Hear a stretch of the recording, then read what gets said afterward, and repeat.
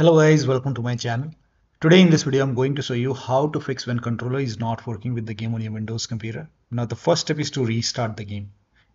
If the game is running, close the game, relaunch the game and then check. If that does not work, disable Steam input. Now for this, make a right click on the game, select properties, go to controller tab, disable Steam input and then you can relaunch the game and then check. If that does not work, uh, you can you can even try to enable steam input and then check which one is working fine for you. Or else you can go for default and then follow the next step. But when you make changes you have to restart the game. Next step is to use wired connection. Now for this you, you have to connect your controller using the usb cable to the computer. So most of the issue will resolve when you, you go for wired connection and then check.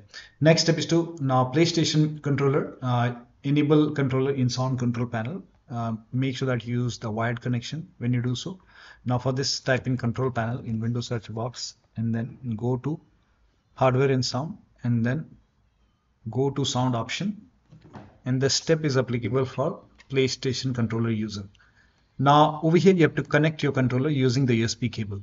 Now once you connect the controller using the wired connection you should be over here here you can see DualSense wireless controller. Make a right click. If this is disabled you can you will see enable option. So enable it.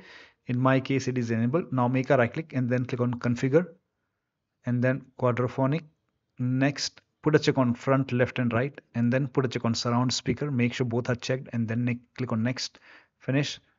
And now you can launch the game once again and then check. Still not working.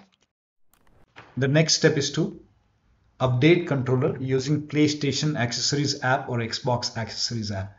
If you have Xbox controller, in that case, go open Microsoft Store and then type in Xbox Accessories app over here. And then you have to install Xbox Accessories app if not installed. And then open Xbox Accessories app. And then you have to connect your controller using the cable. So use the wired connection again. And then once you connect it your controller will be detected over here. So here you can see it's detecting my controller. Now click on this more option three dots. And then if there is any update you will see update option hit update and then let the update complete. Once the update is complete now you can relaunch the game and then check. Similarly if you have playstation uh, controller you can go to PlayStation website. So search in Google and go to the official PlayStation accessories app website. Go to the PlayStation website and then click on download for Windows. And once the download is complete, you can run this exe file and install it. In my case, it is already installed. So once you install, you can launch PlayStation accessories app and then you have to connect your controller. Now, once your controller is connected,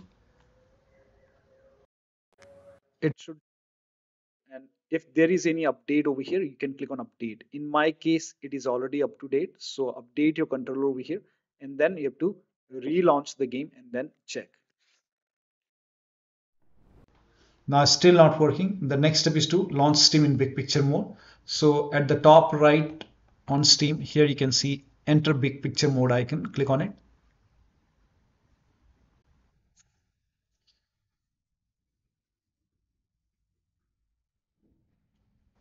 Now, once the Steam is in big picture mode, now you can find the game, click on the game, and then launch the game from here and then check. Still not working. The next step is to disconnect all the USB adapter which you're not using.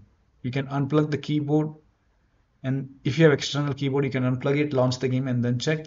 Disconnect extra control. Sometimes we have additional controller connected to the computer disconnected disconnect arcade stick disconnect multiple monitor try launching the game on single monitor. If you have any kind of virtual controller connected like VGA etc you can uninstall it or disable it and then launch the game. So one of the steps shown in this video should help you to get the controller working with the game. So that'll be all. Thank you so much for your time and please like this video and subscribe to my channel